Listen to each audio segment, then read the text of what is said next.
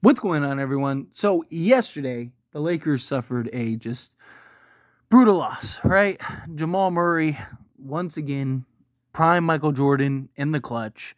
LeBron James misses the three. I know it was a wide open three, but I would have personally preferred him just putting his head down and getting to the basket. Look, it's not LeBron James's fault that we lost that game. I'm just saying, like, in that moment, in that spot against a team that you just have failed to get over the hump right? You're kind of in this back and forth spot. It's just like get the easiest bucket, put it on the refs. Hopefully, maybe you draw the foul, get an and one.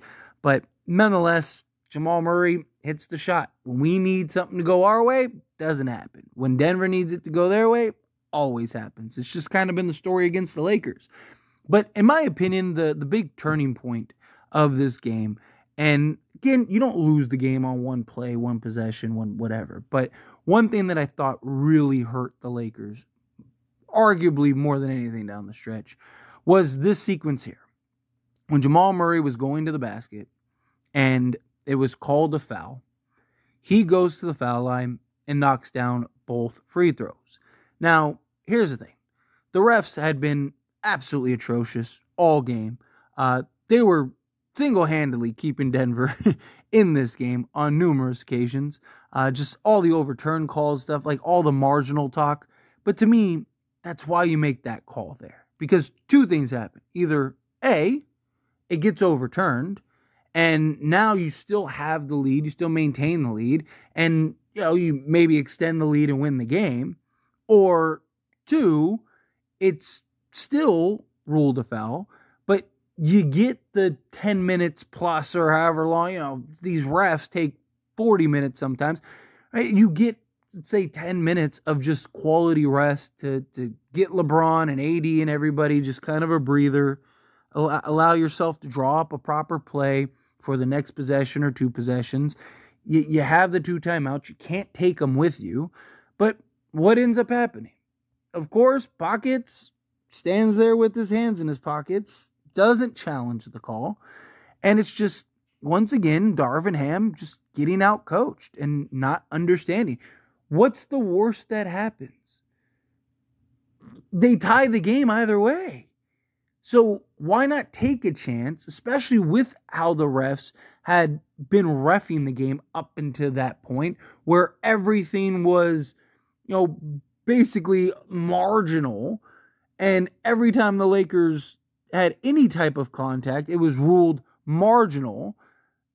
Why wouldn't you put it on the refs and see if the refs overturn that call and deem it marginal as what happened to you the two previous times? Right? Those two previous overturn calls, especially the second one, was just awful. The one on D'Lo was, I mean, atrocious. But why wouldn't you take the chance to see, like, okay, maybe Maybe the refs turn it around. And if they don't, he goes to the foul foul line either way, knocks down two free throws, but at least you gave your guys an opportunity. At least you gave your guys a few minutes to kind of get their wind under them and, and catch a breath and go, hey, okay, worst case, it's tie game. Let's go down there. Let's close and go win this game. But instead, you just kind of stand there, let everything play out. What ends up happening? Jamal Murray hits a big shot and wins the game. It's just, it's frustrating because it's like every game the Lakers are in the game, and every game Darvin Ham just gets clearly and brutally outcoached. I mean, that's really what it's boiling down to at this point, right? I mean, the Lakers have been in every game. Lakers have had every opportunity to win every game, and every game they blow it. Now, again, it's not solely on Darvin Ham, but he does the Lakers zero favors. And he has moments where he looks great. I thought he had several sequences this game where he actually looked like a competent head coach. And then he just has that one sequence or two where it's just like, dude, come on. You you you're putting us further behind the eight ball. It's like I need you to at least be competent. What's the worst case that happens? You burn a timeout, you still have one in your pocket with a two point lead, they tie it, you go down, you score, right? You're not using that timeout unless Denver takes the lead. So why does it matter? But once again, what happens? We don't do that. It ultimately ends up a tie game. LeBron misses a shot. I mean, we scored again after that. Then it was 99 99. LeBron misses the shot. And Jamal Murray does what Jamal Murray's done to us every fourth quarter since we've played them the last like two years. Just beats us. Handles business, shows up. He couldn't buy a bucket and was atrocious all game long. But guess what happened when it mattered?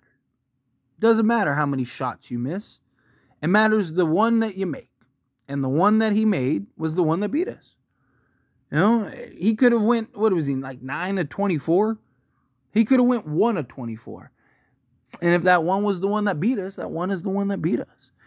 And it's just, it's these little things in a series where everything is just so marginal. Everything is just, you know, one possession, one play, one call, one.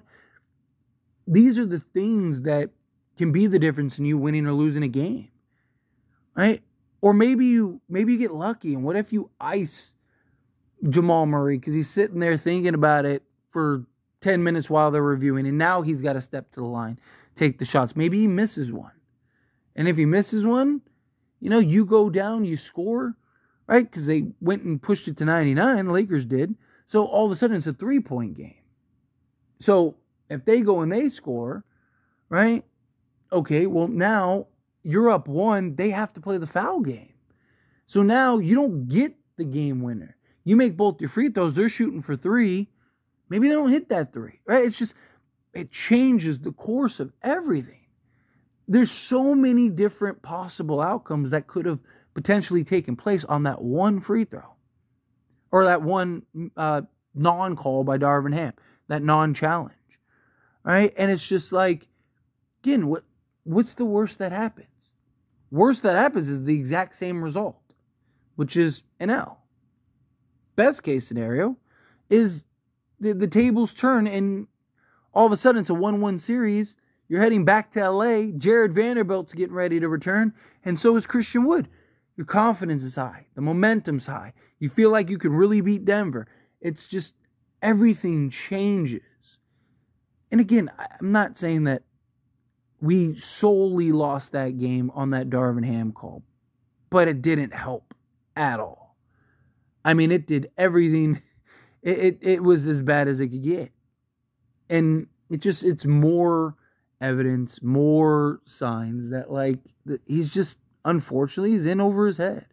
I wish we had a coach that was, I was confident in. And, you know, I felt like, man, we, we really have an advantage here. But that's just, it's not the case. It's just not. And it's unfortunate and it sucks. And it's like, you know, you really hope that the Lakers can kind of pull out these two home games and make it a series. And now it's 2 2 heading back to Denver. Uh, again, I'm always going to remain hopeful. I'm always going to remain optimistic. This one hurt. This one was tough. It's frustrating. But look, it, it's not too late. What Lakers team are we going to get in game three? Are we going to get the team that's just like, we just we can't win. We can't every time we get there, we fall short. Or is this going to be the Lakers team that's like, hey, look at what we just did. We had them. We had them on the ropes. It took a literal miracle for them to pull it off, but we had them on the ropes. We were able to pull it out, and now look. All right, let's go. Let's go win these two games. You know, and then you win those two games, and it's like, man, we we could we should have swept them. We're up 15 in game one, 20 in game two took a miracle shot in game two. We win game three and game four. It's like, it's a completely different series. Now the momentum's entirely high. It's just, uh, it's like every time we need the ball to just, just drop in our favor, just go our way, just tilt a little bit to the left. It just goes all the way right. it's like, man, we really need LeBron to knock down that three. Ah, of course he misses it. You know, Jamal Murray. Ah, oh, man, we really need him to miss that shot. Crazy fadeaway over Anthony Davis. What happened? Hits the shot. Guy couldn't buy a bucket all game, except for when it counted. And it's just, it's those little things. Just like every time, it's just like, it's just this dark cloud over the Lakers when it comes to Denver. It's just that, that team that just, it's just, nothing goes right when we need it to. But I still think like you just you go get that one win. You go get that one win. You build that confidence. You take it one game at a time, one pace at a time. All of a sudden, one win turns into two. All of a sudden, the series is tied. You're feeling confident again. You're back in business. D'Lo showed up. D'Lo looked great. Can really change things, but we'll see. See how it goes. Anyway, as always, this is a discussion. Pass question on you. Let me know your thoughts and opinions down in the comments below. What do you think? How do you feel? What are your thoughts on Darvin Ham and the uh, non uh, challenge? Uh, do you think that that was the thing? What, however feel, whatever your thoughts are, I'd love to hear. Let me know down in the comments below. That being said, if you haven't liked this video, hit that like button. Helps me a lot. So I enjoy these types of videos, and I truly appreciate it. Not subscribe channel, hit that subscribe button. Turn on the bell notifications. Appreciate y'all. See you in the next one. Thank you.